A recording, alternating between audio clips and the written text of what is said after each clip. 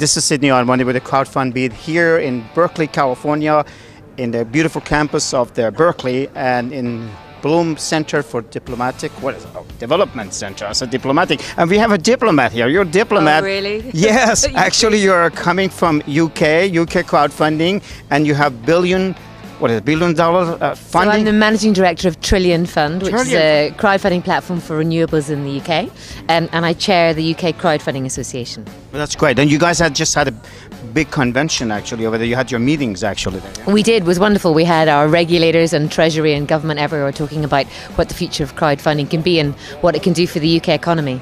And so why are you here? So I'm here to see if I can collaborate with other associations around the world to try and bring all the data together so we can demonstrate what impact crowdfunding is having now and what it might do in the future. Okay, what's going on with crowdfunding in the UK, Julia? Well, we're kind of lucky, I think, compared to the US. We have a slightly more flexible regulatory regime. So it means that people in the UK can invest even in equity crowdfunding without being accredited. So it's a slightly more democratic form of finance. We'd like to keep it that way. All right. So is it growing? But I just saw some report that you're trying to regulate that. What is that all about?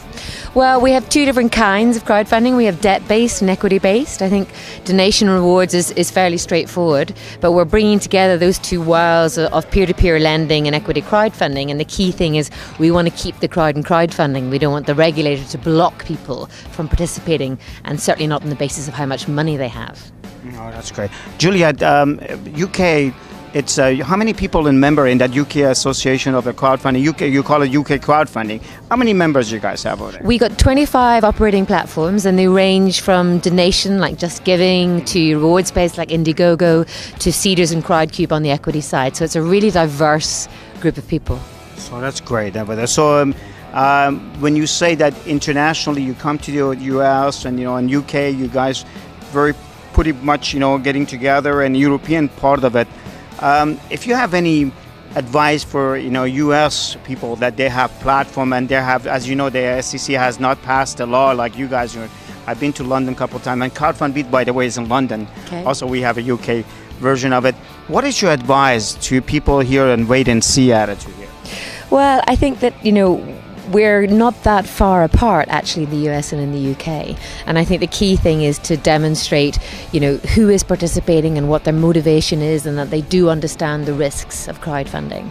Um, so there's a big value for data and that's why the Berkeley guys are so key to us is if we can all get together and share that information and collaborate on it, US and UK and other countries around the world, I think it'll really help people feel more confident and understand that this is a really um, beneficial um, entity and could really help the economy, particularly small businesses. Do you think crowdfunding is here to stay?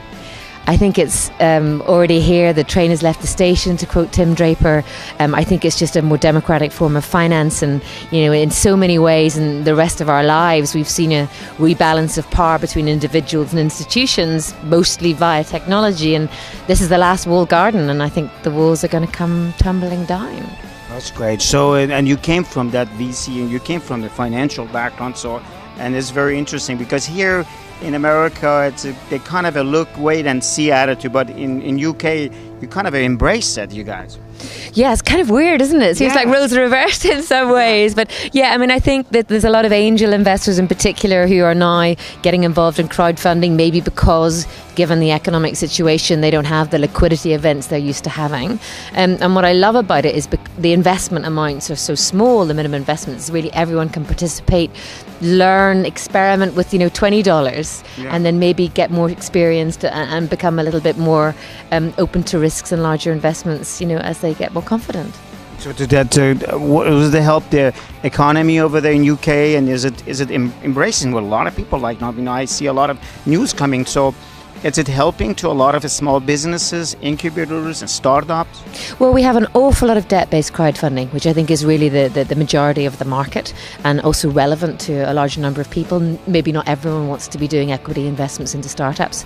Um, we're seeing the government beginning to put some money as well, you know, 100 million here, 50 million there, kind of endorsing the space, which is great. Um, but really, we have a total gap of lending going to the small businesses. And we think that crowdfunding can be part of the solution to both filling the gap left by the retail banks who have neither the will nor the way to lend, but also to creating more diversity in our banking system. So the government's been helping in a way of uh, prefer to the crowdfunding? They have a good look of a crowdfunding in UK. Well, you know, we had a report by our um, banking commission um, who said very clearly, and I can quote it, that peer-to-peer lending and crowdfunding was a real alternative to finance in the market. And, and you know, we have five banks that are essentially too big to fail and too big to jail. Um, and crowdfunding is part of the solutions to a more diverse landscape, so the power isn't held in the hands of quite so few. Julia, if anybody is out there in UK and we're going to be broadcasting in UK or crowdfunding, what is your recommendation if somebody wants to get to this business? How do they start? What do they as as a you know somebody wants to start the business, being in a platform, or somebody wants to be in the other part? How can they get involved? How can they, they do it? Well, the UK Crowdfunding Association has got a, a, very sort of simple list and directory of the different platforms that are out there and who does debt and who does equity. Um, I think it's really a, worthwhile thing to do, you know, for an hour sitting on a computer with a cup of tea on a Sunday afternoon. Um, because it's such a small amount of money, you can either donate or invest. It's really easy to experiment, and I've just got one of those brains. I learn better by actually doing something than reading about it. Um, and it, you know, the worst case that happens is that you donate something to a very worthy cause, and there's a project which gets off the ground with your support that wouldn't have otherwise. So I think it's a really engaging way. I think it's a transparent alternative to banking. There aren't layers of advisors and intermediaries. Um, and I love that feeling of engagement, of being able to kind of see where my money is and knowing it's doing something that I support and believe in. So if they want to know what is a domain name in UK? So www.ukcfa.org.uk is the crowdfunding association's good place to start so they can learn all about. Well, Julia, thank you very much for your time. I know you're busy here. I saw earlier your great speech. You know, we're going to broadcast that, and you're very popular, and we're grateful to have you. And you know, I appreciate having time with the crowdfund beat, and wish you the best. Of course, thank you, Sydney. Anytime, you know that. Welcome. Thank you. Good day.